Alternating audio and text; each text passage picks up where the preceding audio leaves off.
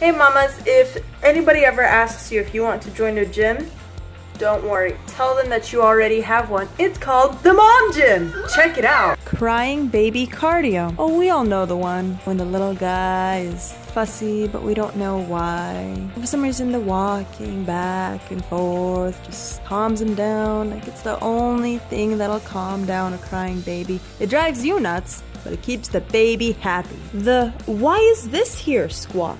Oh, you know the one. It's the one you do all day, every day, because things are never where they're supposed to be. The Quiet House Sprint. This is the one that all mamas dread. It happens the second after they notice the house is too quiet. Burst in the room just to stop the kids from doing something Ah, no! they probably shouldn't be doing. If you guys don't share your toys, I'm gonna put them away. So then they fight over the next toy, and the next toy, and the next toy, and then in the end, your legs are sore and you have a beautiful collection of confiscated toys on top of the fridge. Do you want to go for a walk? Oh, no thanks. I'm too tired. Really? What'd you do? What did I do all day today?